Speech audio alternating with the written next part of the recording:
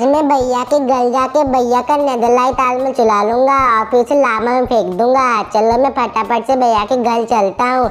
अल्ली, यहाँ पे तो भैया का नेदरलाइट आलमल है। चलो मैं इसे ले लेता हूँ। भैया तो बहुत डल जाएँगे। चलो यार, अपने घर पे चलते हैं। वेट, मेरा नेदरलाइट आर्मर किधर है? अरे यार किसी पूछता हूँ? तुम्हारा नेदरलाइट आर्मर नूब ने चुरा लिया है। क्या नूब मैं आ रहा हूँ? वेट नूब तो यहाँ पर है। ओ नूब मेरा नेदरलाइट आर्मर वापस कर अरे तुम इसे लावा में क्यों फेंक रहे हो यार? तुम तो सही में कितने बड़े नूब हो। तुम्हें पता नहीं है क्या कि नेदरलाइट लावा में नहीं जलता है? यार मैं तो सोच रहा हूँ कोई इतना बड़ा नूब कैसे हो सकता है? अरे भैया आपने तो मेरा छाला ट्लैप खराब कर दिया। अब इसमें तुम ही नहीं हो तो मैं क्या करूँ यार? वेट इसने तो मुझे लावा में धक्का दे दिया। अरे यार इसने तो मुझे फिर ट्रोल कर दिया। मुझे भैया को ट्रोल करके मज़ा आया।